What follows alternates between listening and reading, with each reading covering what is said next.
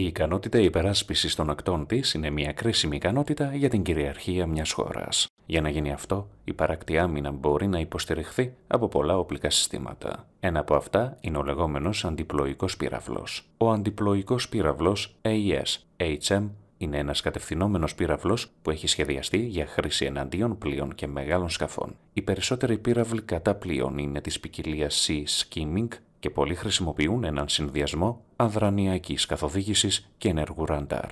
Ένας μεγάλος αριθμός άλλων πυράβλων κατά του πλοίου χρησιμοποιούν την υπέρυθρη ακτινοβολία για να ακολουθήσουν τη θερμότητα που εκπέμπεται από ένα πλοίο. Είναι επίσης δυνατό οι πύραυλοι κατά πλοίων να καθοδηγούνται από ασύρματου σε όλη τη διαδρομή. Μπορείτε να δείτε πληροφορίες για τον αντιπλοϊκό πύραυλο Halcons HAS 250, το νέο απόλυτο ship killer που κατασκευάστηκε στα Ηνωμένα Αραβικά Εμμυράτα. The anti-ship is, uh, is a 200 kilogram warhead type, 250 kilometer range. It can be launched from a platform.